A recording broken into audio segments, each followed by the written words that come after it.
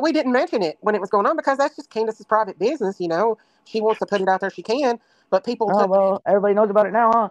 I know, they took your pictures that you posted on TikTok and ran with it, and I never thought that Oh they would yeah, I it. talk crap about it. I know, and it's so stupid. Yeah, That's that's all make your blood out of control. And so when I know something's a blatant out lie, I got to stand up and say, "Hey, listen, that's not true. Come on, you know." And I love you So about that. rumors. When you talked to me and you said septic, I was Huh? scared. When you I told me septic, it made me scared. I didn't mean to scare you, but I was scared. I've scared never for been you. scared in my life ever. I know.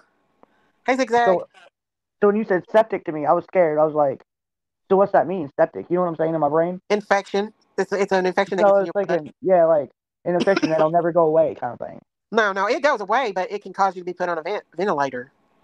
Yeah, well, I didn't want that. Well, no, you, you you needed to go because they needed to help you because they you would have Yeah. never known you had RSV if you didn't go, and you probably would have went back to work and I probably would have.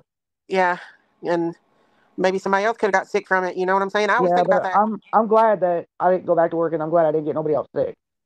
I know, and you need to rest and stay hydrated, and and But now I'm like bored out of my mind, just sitting here and doing nothing all day. I know you was feeling all energetic today with them steroids.